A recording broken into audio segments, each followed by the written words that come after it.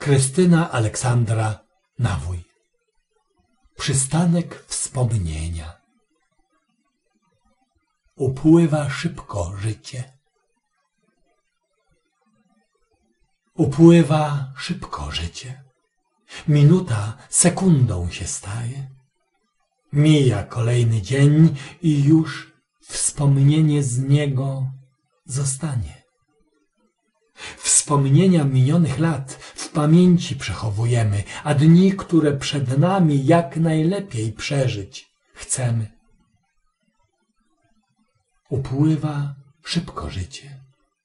Człowiek z dziecka dorosłym się staje i kiedy odchodzi, to złe bądź dobre wspomnienie po nim zostaje.